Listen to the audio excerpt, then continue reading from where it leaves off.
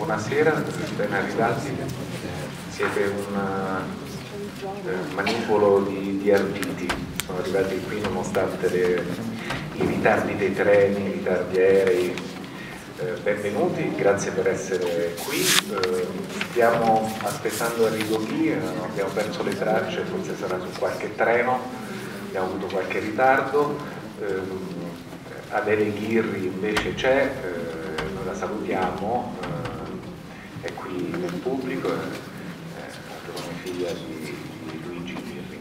Ehm, vorrei cominciare eh, la serata ringraziando un po' di, di, persone, vorrei ringraziare innanzitutto eh, gli artisti perché questa è una mostra è stata resa possibile anche grazie al loro contributo, nel senso che è una mostra low budget, gli artisti come dire, ci hanno aiutato impegnandosi con grande passione, portando anche dire, personalmente le opere al museo, come accadeva a Rivoli negli anni Ottanta, quando c'erano molti meno fondi, quando si facevano le cose eh, molto interessanti in, in questo luogo.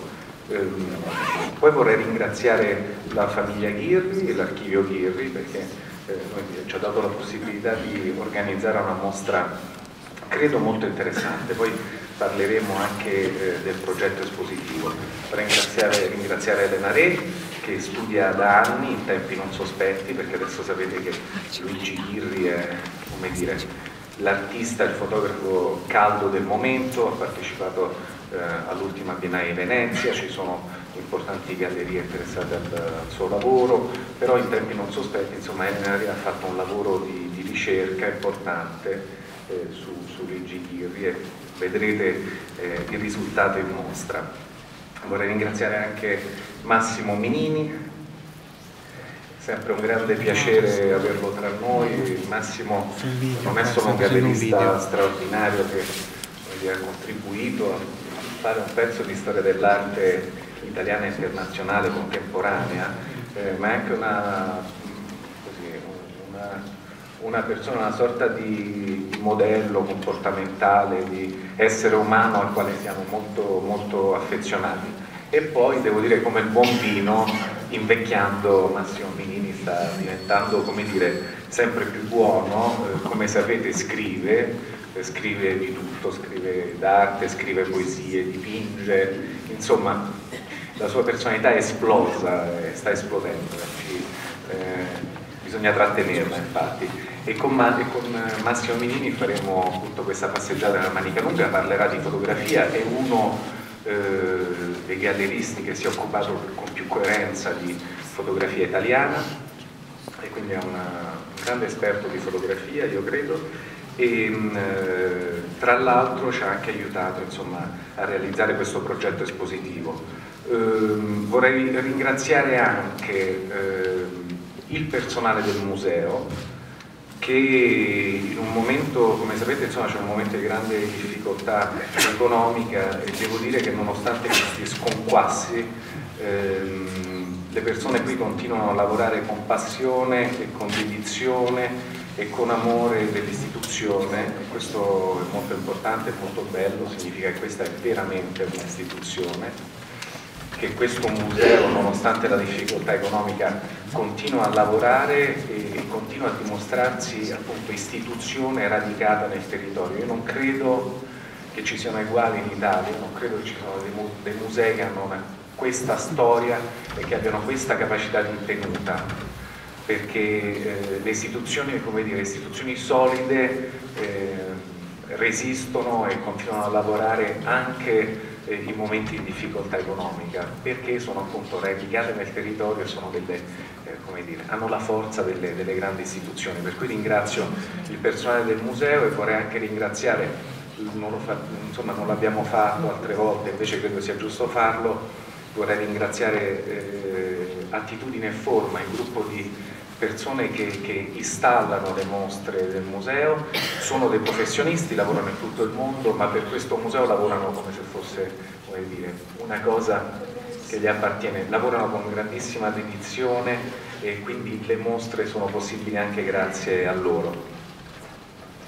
E dicevamo che questa è una mostra low budget, lo è nel senso che questo è un modo già di, reagire alla situazione economica disastrosa che, che dire, mette in difficoltà l'intero paese, mette in difficoltà eh, tutte le istituzioni culturali, quindi è una mostra che costa so, un quinto, un sesto delle mostre che, che, che in genere dire, sono state organizzate specialmente nella Manica Lunga. Però è una mostra low budget, ma al tempo stesso anche una mostra ambiziosa, nel senso che dire, vorremmo cominciare a delineare una possibilità di, di sviluppo delle attività eh, eh, in questa fase di crisi. Perché? Perché da un lato anche con la mostra Giortani che tra l'altro inaugura la prossima settimana in Francia, la nostra mostra viaggia in Francia e poi andrà in Svizzera, con la mostra Giortani con questa mostra qui, eh, nella quale vedrete Luigi Ghirri, eh, Ettore Sozzas, Paolo Peglion, Paolo Mossal Sartor, vedete una serie di artisti italiani, noi con questo tipo di progetti vogliamo da un lato come dire, ottimizzare le risorse, dall'altro vogliamo valorizzare l'arte italiana, promuovere l'arte italiana, che è una cosa assolutamente importante che in tempi di vacche grasse forse non si è fatto eh, e che adesso credo che sia fondamentale fare. Eh, abbiamo degli artisti, lo vedrete eh, questa sera in Manica Lunga come Luigi Chiri che hanno anticipato eh, il lavoro di alcuni fotografi contemporanei straordinari, per cui abbiamo una serie di personalità importantissime sulle quali bisogna lavorare. Bisogna quindi anche valorizzare le risorse di questo territorio straordinario, non sono io a dirlo, ma a Torino si è fatta la storia dell'arte eh, italiana e internazionale negli ultimi 40 50 anni, anche, anche prima sicuramente. E poi soprattutto, eh, come dire, questo progetto vuole dire una cosa, vuole cominciare anche a dire una cosa, che non esiste una eh, storia dell'arte, noi vogliamo raccontare, raccontare diverse storie dell'arte eh, non so se vi capita anche a voi, però trovo piuttosto scandaloso e noioso viaggiare in Europa e vedere nei musei le stesse mostre, gli, gli stessi artisti, gli stessi nomi. Credo che questo sia demenziale, nel senso che si, si utilizzano risorse pubbliche di diversi paesi per mettere in scena la stessa storia dell'arte, ma la storia dell'arte è un fatto corale, è un fatto eh, come dire, eh, lineare che può essere così ascritto a un gruppo di pochi. Allora io credo che adesso, oggi, i musei abbiano il dovere di raccontare diverse storie dell'arte.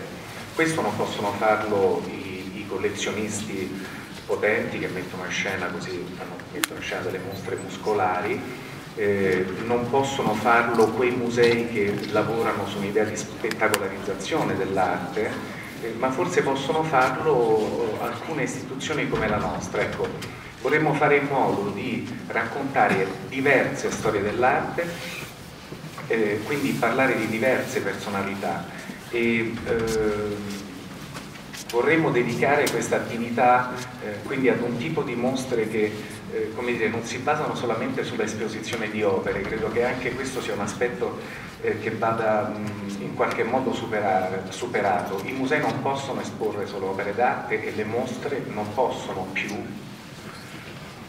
essere mostre di, di, di soli oggetti artistici. Io credo che ehm, un museo non debba, come dire, il visitatore nel museo non deve fare l'esperienza della mostra, non deve andare al museo per riconoscere dei nomi, il visitatore deve andare al museo per fare un'esperienza intellettuale, quindi per vedere delle cose nuove, per mettere in relazione alle proprie conoscenze. Quindi eh, il museo dovrebbe con, dire, con coraggio e autorevolezza storiografica dire, eh, andare in profondità e, affiancare se possibile ad artisti noti, a star internazionali, alle cosiddette blue chip, ai nomi più noti dei nomi meno noti, anche dei nomi di anonimi, il museo dovrebbe eh, affiancare alle opere d'arte altri tipi di oggetti, documentazioni, perché la storia dell'arte non come dire, nasce in relazione sempre alla, alla, alla società, a un contesto storico determinato, per cui è importante ricostruire anche l'ambiente all'interno del quale poi si svolgono, si sviluppano i linguaggi della contemporaneità. Per questa ragione vedrete a Manica Lunga un importante, eh, importante, gruppo di documenti legati alla storia di, di Luigi Ghiri, non vedete solo le opere di Luigi Ghiri.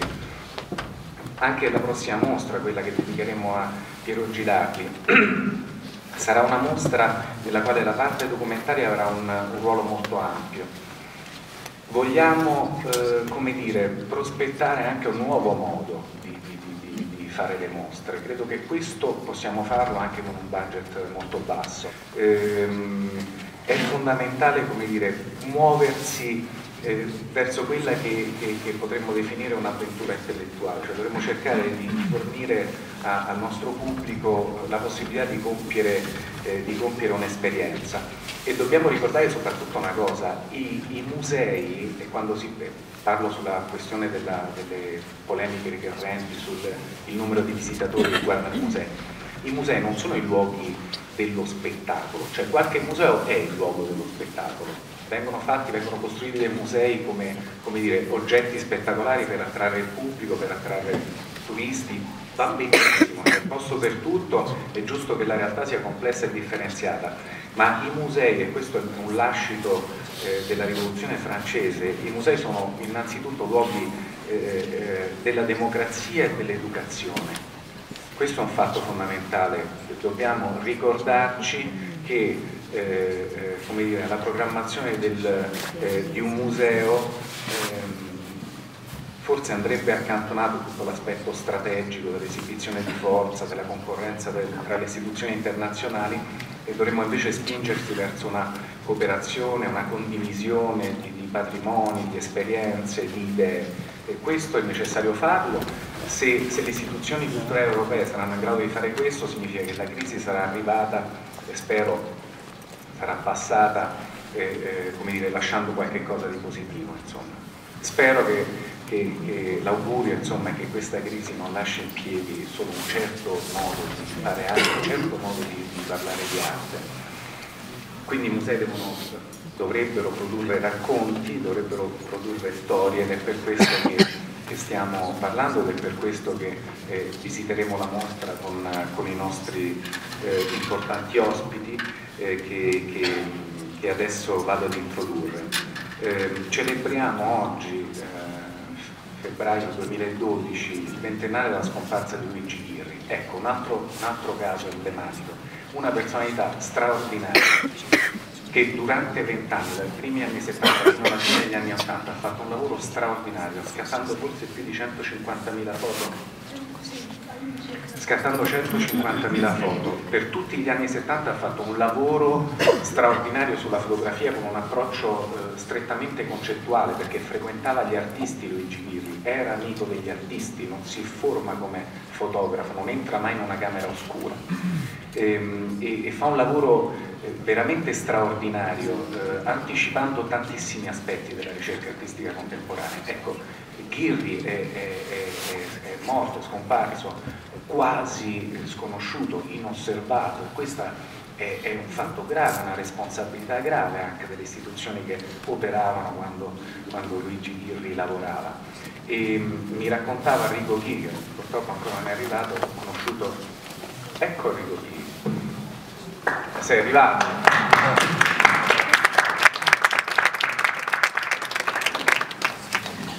No, mi raccontava Rico Chica, lo storico stampatore di Ghirri, e quando stampava le immagini di Ghirri, anche a lui piacevano molto, però diciamo, non, non le capivo, per cui cap nessuno capiva quello che faceva in quel momento Ghirri, ci piacevano ma non, non, non, sapevamo perché, perché in effetti eh, Ghirri faceva un, un, lavoro straordinario, proprio di, di avanguardia, sull'idea proprio mecca del meccanismo della visione più che sull'oggetto fotografico di per sé, anzi dell'oggetto fotografico forse era poco rispetto al, all'opera ultima, forse era anche poco interessato. Lui in un suo scritto, poi lo citerò, dice ehm, non sono interessato a produrre oggetti per il collezionismo delle cose, per me per un approccio, un'avventura intellettuale alla fotografia.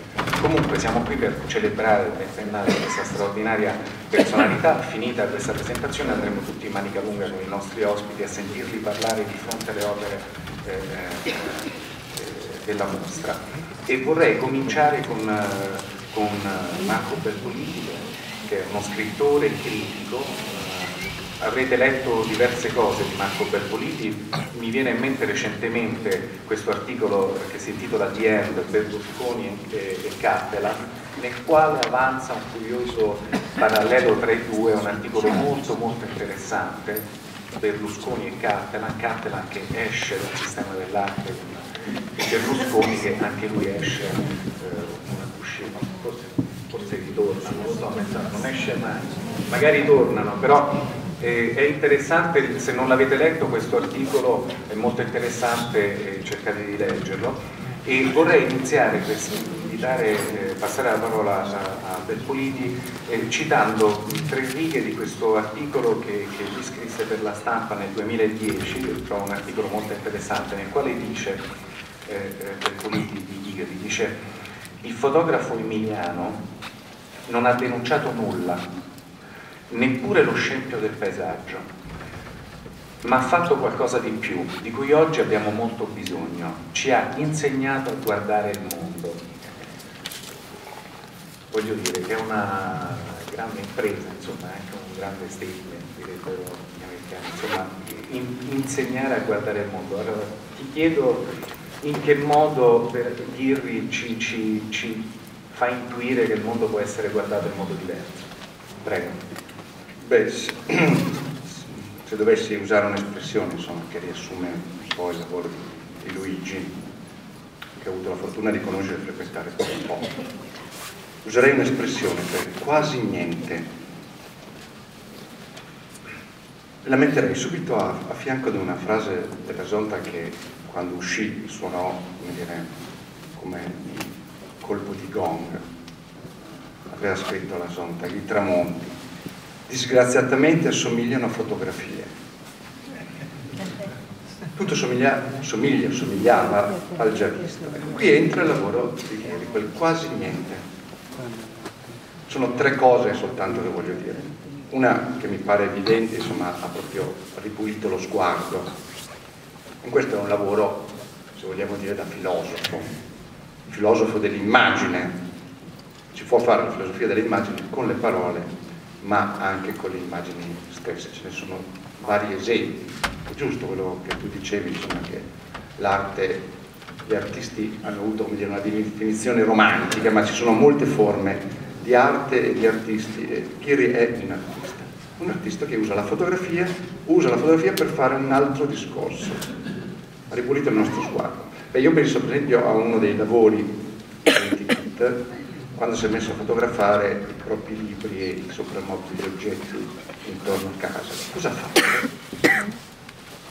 Non ha fotografato, e questa è la seconda cosa che voglio dire, non ha fotografato la realtà, ma quelle che noi chiamiamo le apparenze, ovvero tutto ciò che è visibile, che si fa vedere e che è percepito dai sensi. Questo è un altro aspetto molto importante, cioè in Ghieri non c'è solo la vista. Una delle cose più straordinarie della sua fotografia è l'atmosfera. Sono tutte atmosfere, paesaggi in questo senso. Nelle sue foto c'è un elemento che potremmo definire tattile, tendendosi dato come un senso eh, molto ampio, anzi potremmo dire che c'è il senso della pelle, di più. Il senso della pelle che non è soltanto diciamo, il punto, il confine estremo del nostro corpo, un'interfaccia tra noi e il mondo, ma è la pelle stessa del mondo. La cosa dunque che ha fatto di importante, a mio avviso, è di abolire il potere dell'analogo, che è la cosa che ci ha tormentato, direi, negli ultimi 30-40 anni. Con lui siamo usciti per un tunnel molto piccolo perché il lavoro di un artista è spesso veramente un piccolo buco, un piccolo foro che viene fatto nella parete, attraverso cui è difficile uscire. Bene, lui ha fatto questo foro per farci uscire dal regno dell'analogo. Ad esempio, le foto concettuali, è giusto, insomma, è stato messo in luce variamente, insomma, tutto il rapporto con i concettuali modenesi e gli artisti che lavoravano a Modena in quell'epoca negli anni 70 per esempio le foto concettuali, chiamiamole pure così, le simmetrie, le porte, le altalene, i doppi oggetti, ecco, indicano veramente qualcosa in quel momento intuito da Luigi, di un'uscita appunto dall'analogo. Spostava sulla simmetria, sul doppio, ma non il doppio nel senso romantico del termine, ma una doppia misura delle cose. era uno spostamento di sensibilità. La terza e ultima cosa è che, insomma, di fronte alla sua fotografia io percepisco un elemento etico. Di che etica si tratta? Credo che sia l'etica del cuore. Pensandola come la pensavano gli antichi, cioè non i sentimenti. C'è qualche elemento sentimentale intorno alla fotografia di ieri, qualcosa che ha a che fare con la nostalgia, con i sentimenti in generale, ma direi che l'etica è proprio l'etica del cuore, proprio come una frase che Ghiri ha citato spesso, le immagini sono enigmi che si risolvono con il cuore. Perché il cuore è la sede della memoria. Forse l'altro elemento diciamo, che definisce questa eticità è il rapporto con la memoria, che non è l'analogo, la memoria è sempre antico e sempre nuovo allo stesso tempo. La memoria non è il passato, è anche il futuro. E in Ghiri c'è questo aspetto duplice. Sono luoghi che hai già visto, ma non nel senso che diceva la Zonta dell'analogo, ma che hai già visto perché sono tuoi, ti appartengono. E sono luoghi che ancora devono venire. Il già e non ancora le immagini sono enigmi che si risolvono con il cuore, è una, è una frase enigmatica a sua volta, come si fa a risolvere con il cuore? Beh, l'infanzia. Tutto in Ghirri ricorda questo, sillabari, atlanti, cartoline, quadri, mappamondi, colori, e beh, colore, molto importante. E tutto questo appartiene a che cosa? Non al mondo interno, quindi è un lavoro sull'esterno, sul mondo esterno, ma proprio in quel senso che dicevo prima, non come una forma di realismo, ma come una forma di immaginazione. Le libri si sciolgono attraverso l'immaginazione. La forza del lavoro artistico di Ghiri, quel buco che apre nella parete, al di là del regno dell'analogo, è proprio del farci immaginare. Grazie.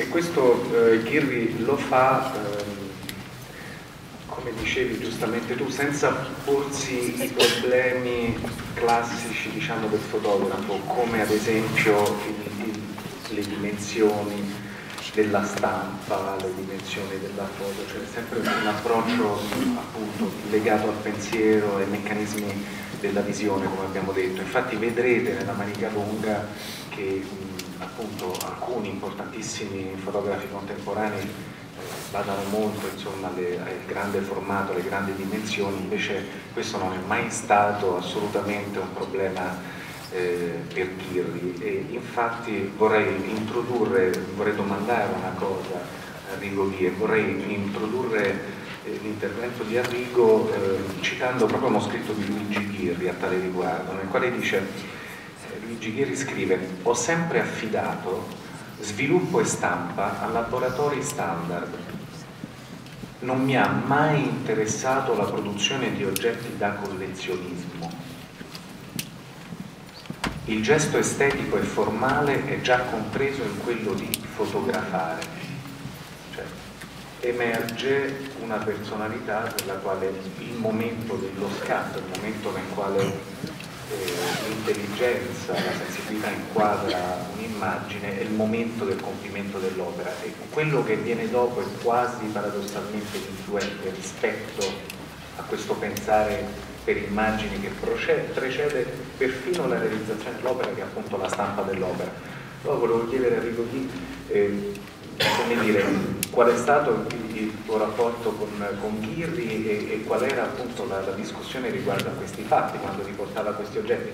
Mentre stavi arrivando dicevo che mi raccontavi, l'ho trovato molto interessante, che in fondo faceva un lavoro talmente tanto nuovo in quel momento così che, eh, come dire, era un lavoro che vi piaceva, vi attraeva, ma in fondo non, non comprendevate pienamente. Se ci vuoi commentare questo, prego. Eh, ho avuto il piacere di lavorare per circa 25 anni con Luigi, mm, per cui l'ho visto praticamente nascere e, e, per me è stato un onore e, e mi emoziona a ripensare appunto a questo periodo che abbiamo passato insieme. E eh, è arrivato in laboratorio così tutto molto, molto umile, molto tranquillo, così, una persona quasi insignificante, una persona meravigliosa perché era umile, ma con una potenza eh, interiore impressionante. A, que, a quell'epoca c'era Franco Fontana che era considerato uno dei più bravi in Italia, e mentre Luigi non era considerato ancora nessuno. Le foto di Franco Fontana erano foto estetiche, molto belle, pittoriche, e, e invece questo, chiamiamo questo tizio che è arrivato faceva cose strane, no? Io e mia moglie dicevamo, ma guarda che foto fa questo qua? Non sono foto classiche, foto pittoriche, foto che piacciono subito. Fotografo nel suolo steso, lì due altre, delle rondinelle sul muro. Boh. E allora ci siamo guardati, mia moglie nel tempo, no? senza conoscere, diceva, ma a te piace questo? A me piace tanto, ma perché? Non lo so, anch'io non lo so, però mi piace tanto. E così eh, abbiamo visto questa, questo vulcano, perché Luigi era un vulcano, aveva una forza interiore impressionante, un'intelligenza straordinaria, che ho visto in Adele, sua, sua figlia, la stessa cosa, anche lei ha un'intelligenza fotografica impressionante. E dico questo non da critico perché non sono critico e non, eh, non mi totale, però ho visto nascere quasi tutti gli artisti in quel periodo, perché al segreto di Guiri sono arrivati tutti gli artisti italiani, i più noti oggi. E ehm, quindi ho potuto vedere le differenze tra uno e l'altro e fare delle considerazioni. Eh, di Luigi si può dire che ha dato tutto se stesso per la fotografia, senza prospettive, perché allora la fotografia era povera, non c'era collezionismo, non c'era niente, si spendevano solo soldi Luigi ha dato la vita in questo senso che ha eh, venduto la casa per la fotografia, per, fare, per scattare, per fare cataloghi, per fare qualche mostra e senza nessuna prospettiva è andato avanti con una costanza impressionante. Mi ricordo quella sera siamo andati da due critici che erano in casa di Fontana, che per tutta la sera hanno usanato Fontana e Luigi aveva Atlante che gliel'aveva presentato e questi l'hanno così denigrato l'hanno proprio distrutto, no? Hanno detto, eh, cosa, cosa, continui a fare foto? Ma che foto fai? Ma cos'è sta roba? E mi ricordo che uscimmo, che era l'una di, no, di sera, di notte, e, e, Luigi mi guarda e dice, Rigo, sai cosa ti dico? Quei due critici non capisco niente di fotografia. proprio così. Questa ostinatezza, ostinazione, proprio questo... Lui sapeva quello che faceva e ha sempre tirato dritto senza guardarsi né a destra né a sinistra. Questa è la sua forza, aveva un'intelligenza un visiva impressionante, lavori che altri dovevano fare in mesi mesi di lavoro, lui in tre giorni riusciva a farli. Proprio cose, perché lui riusciva a vedere subito che cosa doveva fotografare e cosa non doveva fotografare. Quindi aveva un'intelligenza e diciamo che l'opera non è la grandezza della foto, la foto è un altro la realizzazione di quello che lui aveva visto che sia grande, come un provino, che sia grande che non è l'opera è il momento in cui scatta e quella è l'opera. Poi come viene realizzata non è più importante. Ecco, queste, queste, sono le mie considerazioni da stampatore e da... E quindi eh, diciamo che Luigi, eh, quando mi ricordo che eh, le più grandi aziende italiane avevano capito che c'era un genio dietro di lui e gli hanno dato davano lavoro. Per cui tutti i debiti che aveva accumulato con, con me, per esempio, con i tipografi, eh, stava pagandoli tutti proprio. Un attimo prima della sua morte si è seduto su un divano scassato che avevo in laboratorio, mi ha guardato e mi ha detto come stai? Dico, sto bene, tu? Dico anch'io, sto arrivando sulla collina, dico, sono quasi in cima, dai ce l'ho fatta perché 30 anni di debiti, 25 anni di debiti, non, ha venduto una casa, eh? si è mangiato una casa per la fotografia, quindi un amore come Luigi. Io ho visto l'Olivo Barbieri che è un, un altro che, che, ama bassamente la fotografia, ho visto Niedermayer, eh, Castella, Chiaromonte, tutti meravigliosi, bravi, grandi, eccetera, eccetera, ma con la potenza, la costanza e l'intelligenza di Luigi mi dispiace, non ho trovato nessuno. Ecco.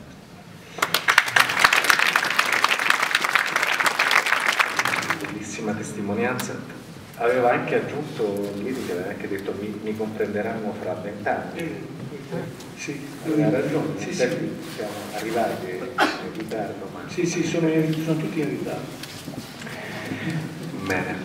Ehm, vorrei, eh, poi magari potrete fare le domande a chi interviene, parleremo anche tutti insieme alla Manica Lunga visitando la mostra. Vorrei ehm, eh, chiedere a Massimo Minini, che poi parlerà ampiamente anche in, in mostra, di, fotografia di Paolo Mossal di Paolo Bellion, di, di Sozzas. Abbiamo tre, tre torinesi in mostra personalità che, che io credo fosse giusto a questo punto celebrare e raccontare, perché insomma hanno avuto un ruolo molto importante nella storia dell'arte italiana, nella storia della città e anche di questa istituzione. E vorrei chiedere a Massimo Minini eh, perché hai eh, cominciato a lavorare con eh, Luigi Diric, cosa, eh, cosa ti ha colpito del suo lavoro e perché pensi insomma, che sia un artista importante. Lo prendo così, posso? Così. Lasciami dire che il rapporto che nasce con Ghirri è un rapporto che crea all'interno del mio mondo una serie di, altri rapporti con, con delle persone che prima non conoscevo. Quindi è, è una storia che nasce abbastanza improvvisamente un giorno di 5-6 anni fa, quando a una fiera di Bologna vengo eh, avvicinato, tra virgolette, da lui, da lui e, e quindi anche da lei. È una storia che mi porta, che porta nella mia famiglia una serie di nuove acquisizioni eh, umane.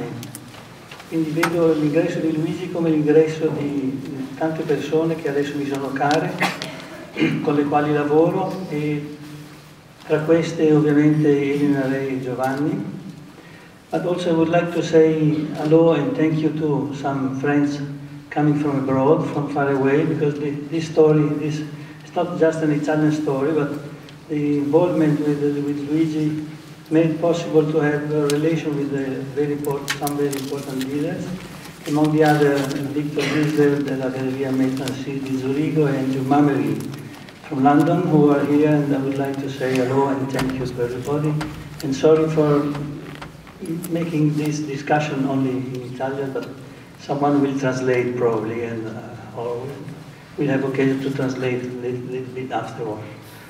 So, eh, quindi ho conosciuto stasera Rigo Ghi ad esempio, che desidero salutare questo mitico personaggio il cui cognome è, ha lo stesso radicale di Ghirri, per un caso molto curioso. E naturalmente non posso, non posso non dire non ricordare che ho conosciuto Paola, e alla quale mi legavano tante, tante consonanze, tra le altre il fatto di essere nati io e lei tutti e due il 14 settembre, seppur in anni diversi, ma quello, sono nato prima io, ma non di molto in fondo. E poi eh, Luigi mi ha portato eh, un- una serie di relazioni, tra cui ad esempio un, un avvicinamento a Andrea Bellini, che un giorno mi chiede di fare qualcosa con- per, per la manica lunga, per Ghirri. Eh, Andrea a cui mi legano diverse storie, tra cui una in particolare che ogni tanto noi citiamo reciprocamente, il fatto che amiamo la preistoria, è vero. Eh, amiamo la preistoria e io sono nato in Val Camonica, in Val Camonica c'è- ci sono delle incisioni preistoriche stra- straordinarie tra i giacimenti più importanti d'Europa. In Val Camonica c'è una, una famosa mappa, la mappa di Vedolina, la mappa dei campi, che è uno dei primi esempi geogra- di geografia de- del mondo. La geografia e la mappa di Bedolina sono in fondo un fatto di geometria La geometria nasce dalla misurazione dei campi, dai litigi dei contadini eh, che si litigavano per il possesso del, della terra. Eh, l'evoluzione della geometria dei contadini ce la danno i grandi geometri greci eh, che inventano tutti i grandi teoremi da Euclide a, a, Pitagora. Mio nonno si chiamava Egidio Minini ed era geometra, mio padre si chiamava Luigi Minini ed era geometra e Ghirri si chiamava Luigi anche lui ed era geometra. Quindi forse per tutte queste coincidenze mi sento parte della famiglia di Ghirri. Ghirri era geometra e cosa vuol dire questo, questo titolo? Cosa vuol dire la parola geometra? È qualcuno che misura la terra, il geometra misura la terra. Ma un giorno Luigi vede la terra dalla luna. Nel 69 l'uomo eh, conquista la luna, Neil Armstrong mette piede sulla luna e Ghirri immagina, perché non era sulla luna però guardava la televisione come la guardavo io, io ero, ero un'estate se non sbaglio, ero via Reggio, chissà dove, chissà dove era Luigi, e lui si immagina che dalla Luna l'uomo vede la Terra e cosa vede in mezzo? Vede tutte le immagini possibili ed immaginabili. Eh, credo che lui abbia scritto lo spazio tra l'infinitamente grande e l'infinitamente piccolo è riempito da una complessità infinita, puntini, puntini, puntini. E chiedo a Elena di, di smentirmi se ho citato male, no, ho citato male. Quindi nel 69 Ghirri rimane folgorato da questa immagine. La Terra vista dalla Luna non è solo la Terra, ma è un'immagine che contiene tutte le immagini possibili. Naturalmente questa è, dire, una, una, visione poetica, perché, perché, non è vero. Cioè lui non può aver visto questo, può averlo solo immaginato, può averlo pensato, può averlo sperato. questa sua visione mi richiama, siccome io faccio sempre dei, dei doppi e dei tripli salti mortali, ne faremo qualcuno anche in manica lunga, ho pensato a Intervallo di Paolini. Intervallo di Paolini è un'opera dove, dove c'è una testa tagliata in due, una che esce dal muro di qua, una che dal, entra, rientra nel muro di là, ma il titolo è Intervallo. Cos'è l'intervallo? È il vuoto che, che intercorre tra le due teste. Così come l'intervallo che vede Ghirri con la, con la mente è lo spazio che, che passa tra l'occhio di Armstrong sulla Luna e, e la Terra. L'opera a questo punto non è il pieno ma è il vuoto, l'opera è l'assenza, ciò che conta in fondo è il non essere ed è l'invenzione, l'invenzione poetica.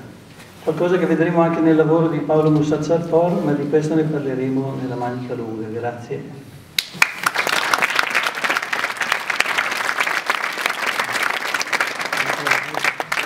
Allora prima di andare nella manica lunga eh, lasciamo l'ultimo intervento, che sarà un po' l'introduzione alle cose che andremo a vedere, una parte delle cose che andremo a vedere, Elena Re, eh, che farà così, brevemente un'introduzione della, della, mostra e del lavoro di, di Luigi Grazie Andrea.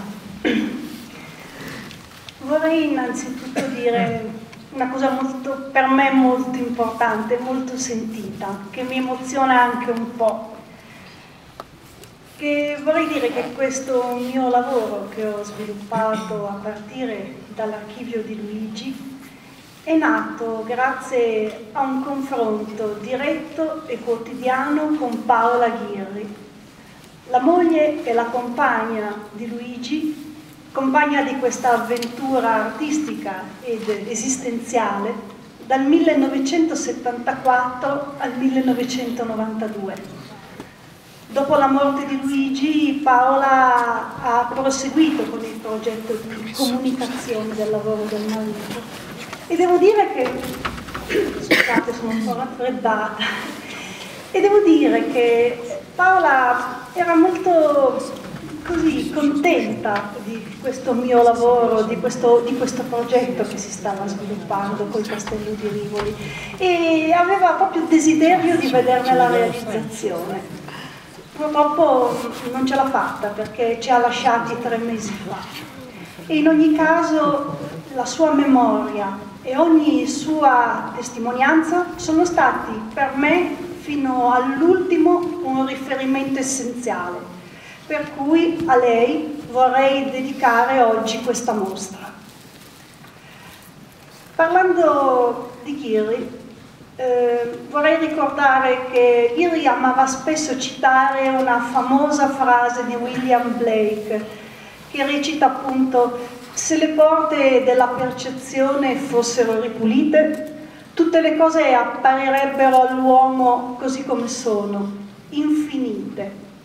Ecco, Ghiri ha fatto questo lavoro straordinario di regalarci uno sguardo per ritrovare l'infinito che sta nelle cose, anche nelle cose più piccole, apparentemente anche banali.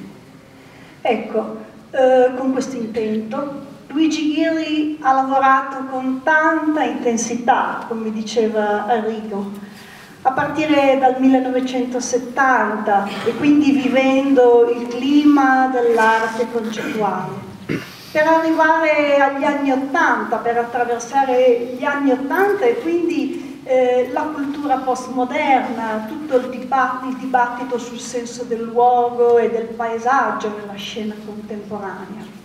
Quindi Ghiri in sostanza eh, ha sviluppato una ricerca espressiva sul tema del paesaggio concependola come un vero e proprio progetto opera. Sostanzialmente la sua opera era un vero e proprio laboratorio del suo stesso pensiero, era una questione essenziale, centrale. Ghiri in sostanza fotografava il suo pensiero in merito a una nuova idea di paesaggio. Ecco, nell'affrontare il lavoro di Luigi Ghiri, ormai sono parecchi anni, circa 12 anni, che approfondisco a partire dalla casa studio di Roncocesi questo suo lavoro straordinario. Ecco, nell'approfondire sempre di più il lavoro di Luigi Ghirri, man mano mi è apparso chiaro il fatto che la questione del pensiero e del progetto eh, necessitavano un momento di approfondimento dedicato, quindi uno studio che desse luogo a una mostra, a un libro, a una possibilità per tutti di accedere a questa parte sottile eppure straordinaria che è il regalo che Ghiri ci ha trasmesso. Ecco che quindi ho pensato di sviluppare questo studio e quindi in mostra cosa troveremo? Troveremo l'espressione eh, di questo suo progetto, questo suo progetto che attraversa varie serie, perché lui lavorava con il concetto appunto delle serie, aggregando e riaggregando le fotografie in infinite combinazioni, con quest'idea dell'ars combinatoria che poteva far rientrare in una fotografia, in un progetto, ma poteva farla ricollegare a un'altra ancora, un meccanismo molto complesso ma molto forte e che rende veramente esplicita la profondità del suo sguardo. Quindi si mette in scena un progetto in manica lunga e un progetto che viene presentato attraverso queste piccole fotografie, che sono le stampe a contatto che Arrigo realizzava per Luigi perché Luigi poi le ritagliava, le metteva in, su, in, fila sul suo tavolo da lavoro, componeva le serie e appunto le incrociava, le ricomponeva in infinite combinazioni. Per cui della, sulle pareti della manica lunga avremo queste sequenze di piccole fotografie in miniatura che raccontano le principali ricerche espressive di Luigi. Ma sulle pareti eh, avremo anche proprio le sue scritture, i suoi pensieri. Infatti ho pensato dagli scritti di Luigi di selezionare alcuni brani che introducessero ogni singolo approfondimento. Ghiri non era certo uno scrittore, ma all'interno dei suoi testi noi troviamo l'essenza della sua poetica, un vero e proprio testamento di poetica sono i suoi scritti. E poi ancora, ci sono le teche nella manica lunga. All'interno te delle teche ho voluto mettere le macchette, gli oggetti, i documenti. Come diceva Andrea, la questione del documento è un aspetto essenziale, importante, proprio per testimoniare, per sottolineare la profondità della ricerca espressiva, della storia che sta dietro all'opera dell'opera che si fa storia, insomma, quindi la maquette qualcosa che è a cavallo tra questi mondi e che quindi abbiamo cercato di portare qua in manica lunga. Sostanzialmente, ora non voglio anticipare altro per non togliervi il gusto della scoperta e della visione. Vorrei solo ricordare che l'occasione di questa mostra mi ha permesso appunto di completare uno studio che ora è in corso di pubblicazione con l'editore Ringhier e che presto avremo l'occasione e il piacere di presentare. In ultimo vorrei dunque ringraziare Andrea Bellini per aver voluto con forza e determinazione questa mostra all'interno dell'offerta espositiva da lui curata, ma vorrei anche ringraziare Beatrice Merz e vorrei ringraziare con un grazie particolare tutti i prestatori che hanno reso disponibili le loro opere, le opere di Ghirri per questo progetto e eh, ultimo ma non meno importante tutte le persone che con la loro collaborazione, lavorando insieme a me, hanno reso possibile questo progetto. Grazie di cuore.